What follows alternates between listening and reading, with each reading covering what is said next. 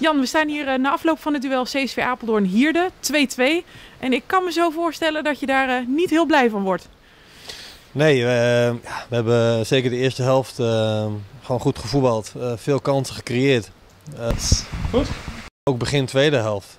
Eigenlijk geen veldje aan de lucht, maken we verdiend 2-0. Eh, ja, veel kansen, een paar keer de paal. Eh, ja, we waren gewoon voetballend zeer, zeer sterk.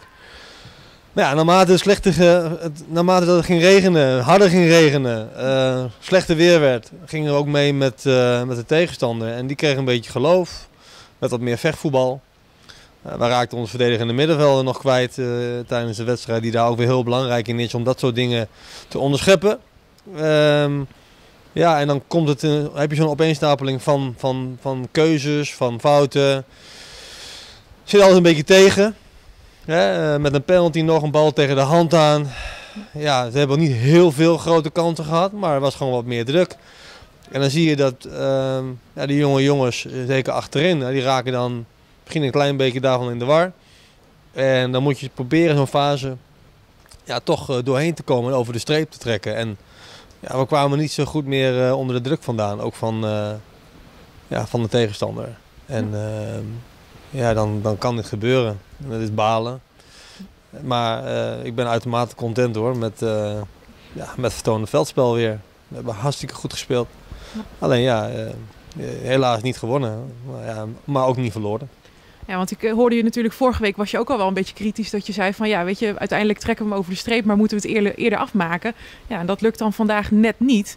En je ziet dan hè, de invaller bij eh, Hierde, Rick Boersma, die dan eh, het laatste kwartier met name de boel aardig op sleeptouw neemt. Ja. dan, dan zie je toch dat het scorend vermogen bij ons wel iets omhoog mag.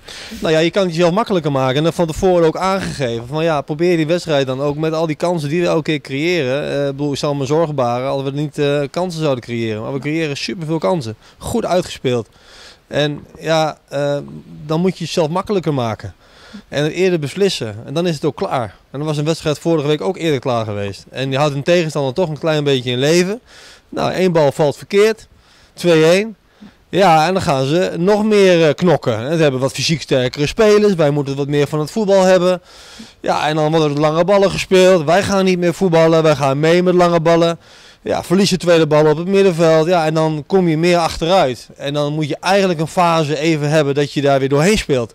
Dus dat je probeert de bal even wat langer in de ploeg te houden. En dan zorg je ervoor dat die storm van, van hun weer wat meer gaat liggen. Ja. En dan pak je weer de overhand. En dat hebben we gewoon niet zo goed gedaan. En ja, dan zit het net even een keertje tegen. Maar ja, daar leren die jongens ook weer van. En, eh, en ik ook. Dus daar gaan we weer verder mee.